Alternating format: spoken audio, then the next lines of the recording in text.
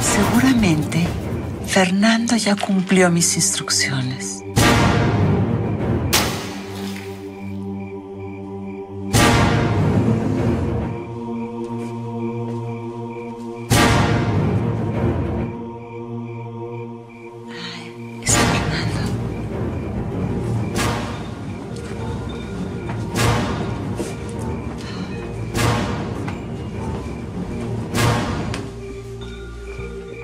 No tienes por qué huir.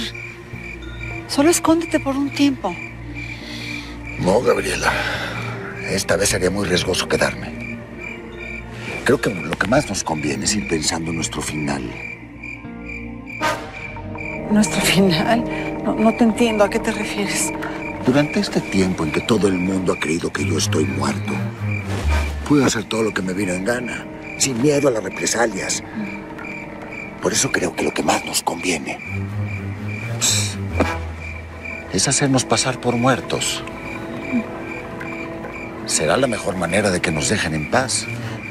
No, no, pero, pero Fernando, es que... eh, No, no, no, no, a ver, no digas nada. Piénsalo, piénsalo. Venderías la hacienda y todas tus propiedades antes, sin que tus hijas se enteren. Juntaríamos todo el dinero posible y nos iríamos a ir a vivir lejos para siempre. Al creerte muerta, tus hijas te sepultarían. Y después... ¡No! ¡No! Sí. ¡No! ¡No! ¡Estás hablando de sepultarme viva! ¡No! ¡No! ¡Eso nunca! Jamás. Tú sabes, tú sabes cuánto me entera estar encerrada. ¡No! Olvídate de esos planes. Y no me vas a convencer. No, no, a ver, Gabriela, Gabriela. Te aseguro que no correrías ningún peligro. Yo, yo te iría a desenterrar. No, Sí, no tienes por qué temer. no, no, ya dije que no. Y no voy a aceptar. La sola idea de estar enterrada me, me enferma, me enferma. Me mata, no. No voy a insistir. Pero te pido que lo pienses. Por lo menos piénsalo. Es nuestra mejor salida. Tienes que pensarlo. Por el bien de los dos, Gabriela. Porque estamos corriendo un gran peligro si nos quedamos. Yo por lo pronto tengo que buscar cuanto antes dónde esconderme. Aunque antes debo intentar recuperar lo que es mío.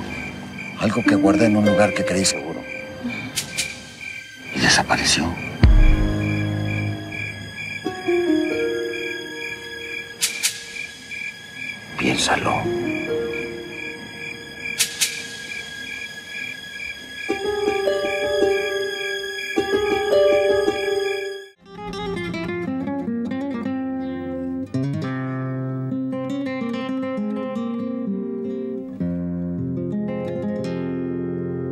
Vale más un buen amor